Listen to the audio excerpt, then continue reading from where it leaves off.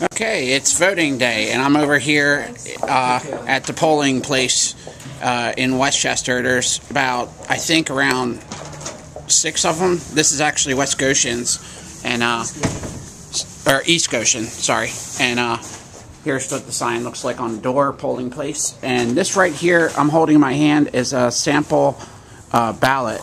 As you can see, like um, fill out the circles in it, and then you basically just fill it. You go inside, you fill it out in a booth, and then you just hand it in.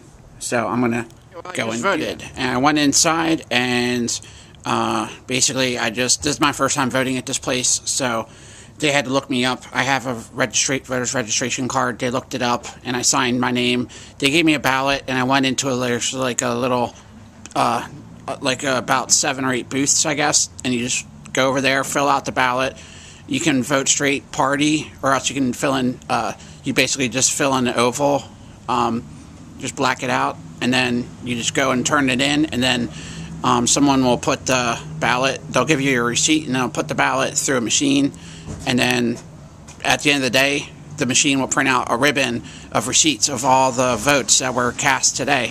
And then they also have in the, the voting, the scanner machine, uh, all the ballots get kept in it, and they count up the ballots at the end of the day to double check that they have all the votes counted.